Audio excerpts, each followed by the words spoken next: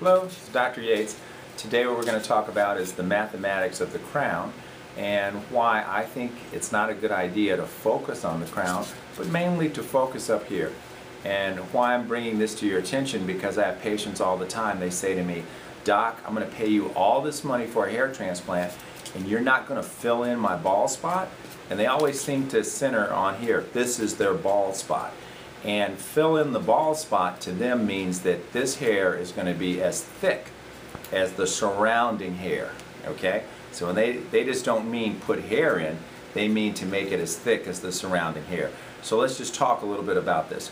Now, the dynamics of the face, I think to get the best result when somebody's a class, you know, four and above, is you want to concentrate, you want to concentrate on framing the face just like wearing a baseball cap. Frame the face so people can concentrate on this instead of concentrating on this. Okay? So you want to frame the face even if you have a bald spot back here. Now, the reason that I say kind of ignore this area back here is because when people see you at conversational distance, what do they see? They see this right here, not this right here. Everything's based on supply and demand. When you do the math, the math in the back to fill the crown is a lot bigger than you think. Let's look at this crown here. Now, this is kind of what average, what I'll see on a person whose head is maybe shaped like this. So this doesn't look big. So a person will come in and they say, and say, Doc, I want this filled in, all filled in. I want you to fill in my ball spot. And so what I'll say to them is, well, it's based on supply and demand, and I don't think you have enough hair to accomplish that because we can't fill this in and make this super thick. The only thing that's going to fill this in and make it super thick is what? Is a wig. Or that spray you see that psst, that's like spray paint. Okay? Now, I'm going to tell you how many grafts it's going to fill this to take to fill this area. You're going to be shocked. The math for the back of the head is a little different. It's pi r squared because it's a circle. The, the head and the back is a circle or spherical shape as opposed to a square. So the math is different. So just for this little spot here, where a patient has drawn in once for me like little tick marks and said, wow, it'll only take a thousand of these and it's filled in, but it's totally erroneous. The radius here is six centimeters, so pi r square doing this makes this whole area in square centimeters about 110 to 113 square centimeters. If you were to plant at 20 centimeters I mean 20 grafts per square centimeters, you would end up around 2,200 grafts. If you went to 25 to 30, which most people do, you're almost at 3,000 grafts for this little area here. So a lot of people aren't willing to put just 3,000 grafts here when they're losing here as well. So if you had a choice, it makes more sense. What are you going to do? Take the grafts, put it here, or put it here. Now, if you put grafts here and here, you're going to diminish your results. You want to create great density here, taper this off, and kind of ignore this area, I think, until you have great framing of the face and see what supply of hair that you have before you tackle this area. And the reason is this area is unstable.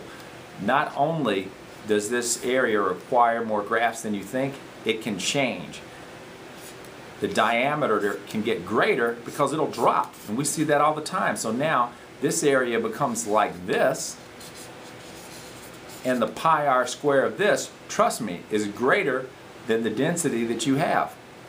So you don't really want to waste grafts by doing that.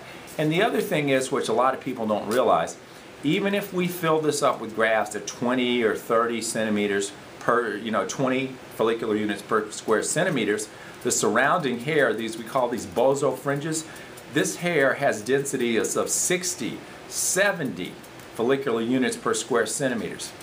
So if you have hair like this, that's on the sides, and then we fill, and this is at planted at 20 or 30, it still looks thin.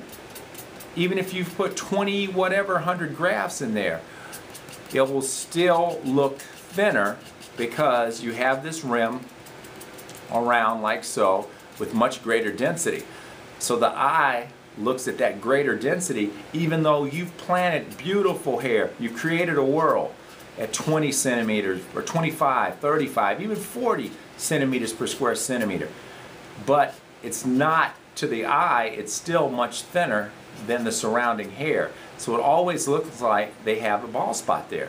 Now the trick is you don't go bald all in one day. It's incremental. It gets thinner, thinner, thinner, thinner.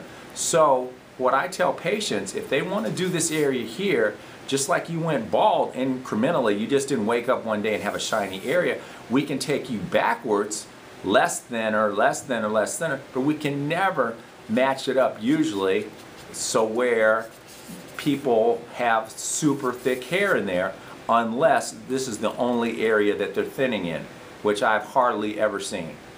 So basically to sum it up, the math here is different.